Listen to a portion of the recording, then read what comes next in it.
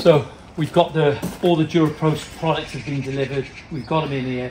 They come late the other night. Um, the thing that we never had, we never had a consignment note, so we couldn't check everything off. So that was a bit sort of a bit frustrated about that, really. The other thing, of course, is when you have a delivery like this, you've got to check everything off, and that was the thing. No consignment note, so I couldn't check everything off as it was coming off the lorry, and I was a bit concerned about whether we had enough H posts. But it looks like we have now, and we've got some 4x4 posts for the return. But now's the time, you've got to get the fence out.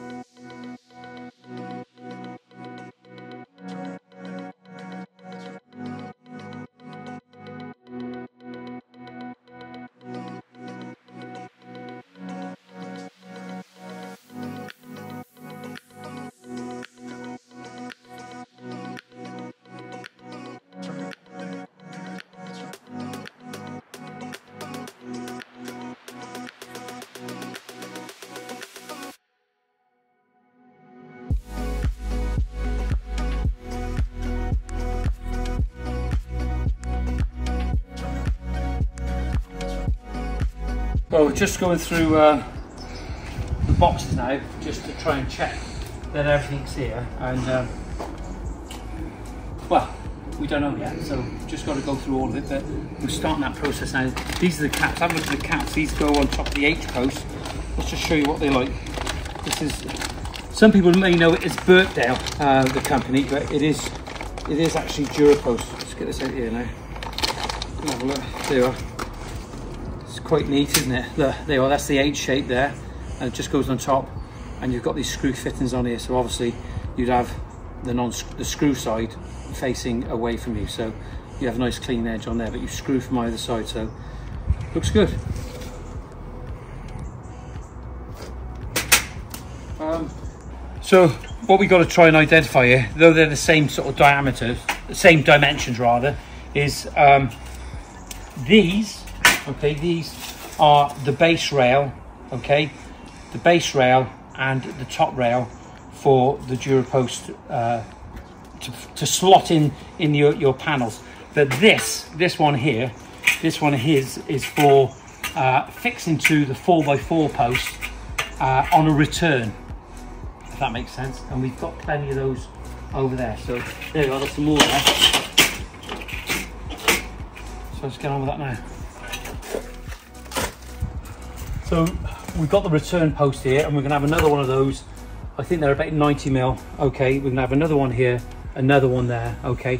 And what happens with these posts is that what we're able to do, as the panel comes this way, to enable us to get the, the composite material in, that's going to be fixed onto there with some self tappers. But obviously, we'll put it this way round and the reason for that, because we've got holes on this side to fix our panels.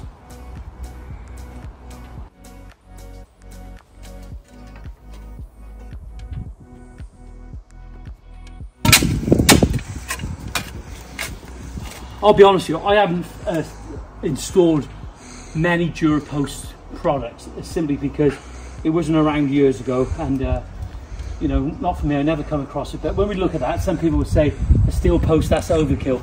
That's been galvanized and powder coated. And if you're a client that uh, wants something with longevity, that's going to give you longevity. That's not going to. Eventually, it may rust, but in a long, long time, a long, long time. So, is it worth doing?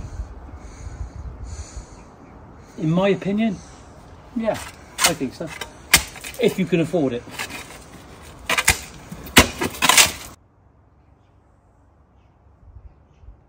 Right, so what we're looking at here, we're looking at a couple of different components and uh, hopefully Lloyd will show you the areas, the components that we're looking at. So this, I'm waffling on now, this is going to be fixed to our 4x4 posts, okay?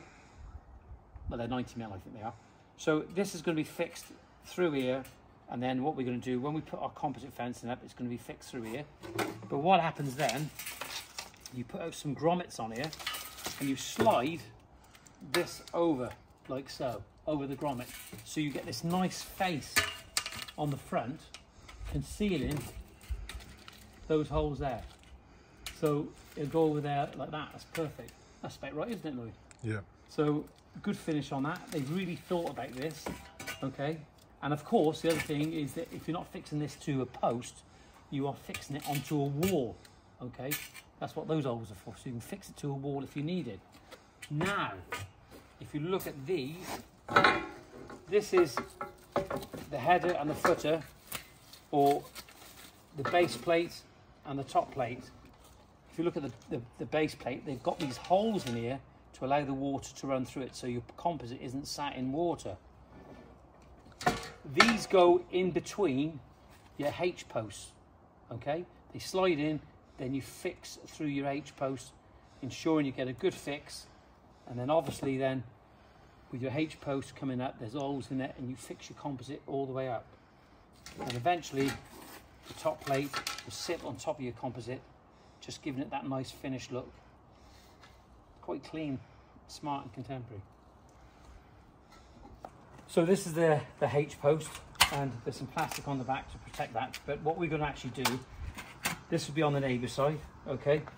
This will be on our side. And that's the beauty about Durapost is that the neighbour has the benefit of the fence. So if you are thinking about getting installed, maybe you should ask your neighbour to contribute. um, but look, just for video purposes, just take this little bit off here. You can actually see the holes this is where we screw through here now, but this plastic actually offers a little protection on that side. So the idea is now that we get a panel in place, get it set up to the correct height, and then screw it through and uh, see what we got.